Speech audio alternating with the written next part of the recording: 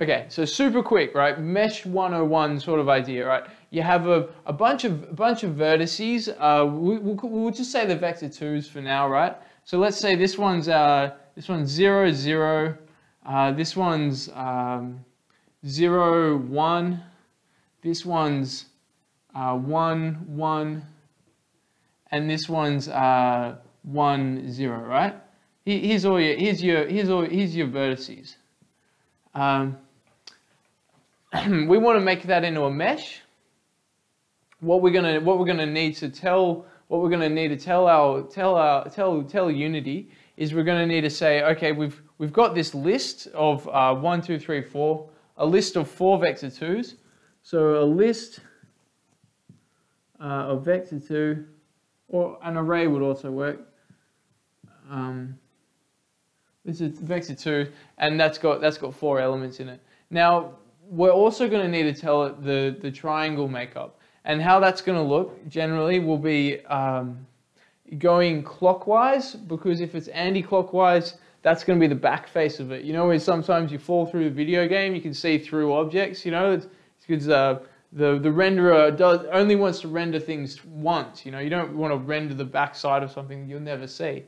Okay, so so we go, okay, so in that case, a triangle, we just need to know which vertices we want to hook up. So a triangle, uh, the triangle, um, the triangle element of a, of a mesh is going to be, let's say this mesh would be uh, three elements of, or two elements of three, because it'd be like, okay, uh, boom, boom, boom, and boom, boom, boom. Okay, that's your two triangles, and it's two, just two lists.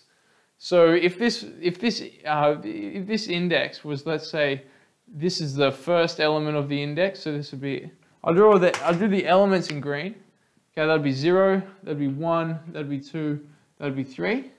Then the then the triangle the triangle array would be an array of integers, right?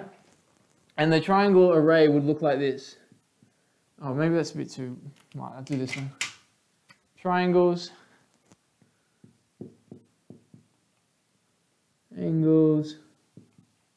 right, is going to equal, uh, it's going to equal something like this. It's going to be like 0, 1, 2, right? 0, 1, 2, that's one triangle.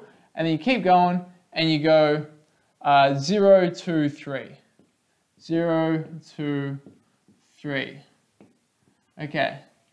And now you've got you've got your list of vector twos, which would be four, four, four separate vector twos, and then your list of triangles, which is just the indices of those of those vertices. Okay, so now if we wanted to do uh, something something with uh, an odd, odder shape than a square, let's say for example, uh, we wanted to do like a a pentagon. Someone says, draw, all right, do me a pentagon, right? I've got a vertex here, vertex here, vertex here, vertex here and here, right? How am I going to do that? Well, I, I, you know, there's, there's might be a few ways to do it.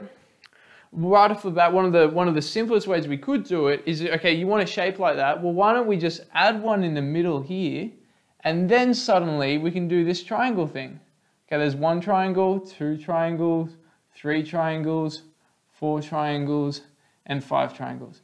Okay, and then so now, especially if we know the order of these of these vertices, uh, which in in ARCore we're actually given the exact order when we're given a, a tracked plane, we're given the vertices in a clockwise in a clockwise order, which makes it so easy for us to create a new vertex at the center of the of the plane, and then be able to just yeah uh, create our triangles that way.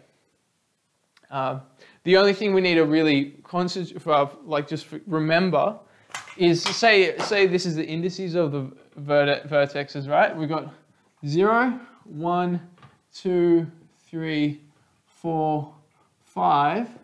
The triangles are going to go like, let's say, like they always start at 5. So 5, 0, 1, 5, 1, 2, 5, 2, 3, 5, 3, 4, 5, 4, 0. So just make sure we got that last one uh, coming back coming back to the initial index. And that, yeah, that's kind of just the idea behind behind that shape.